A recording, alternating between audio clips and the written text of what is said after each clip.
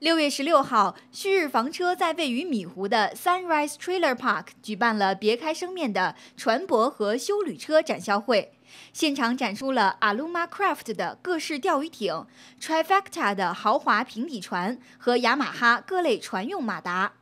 旭日房车邀请了嘉华鱼友协会在活动当天举办钓鱼比赛，并为比赛赞助了 Aluma Craft 的一艘钓鱼船。据悉，比赛有三十四人参与，十二条船经过八个小时的角逐后产生名次。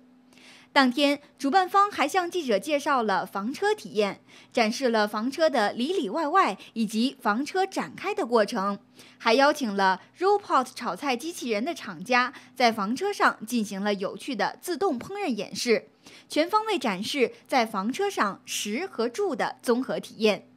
CCTV 加拿大国际电视报道。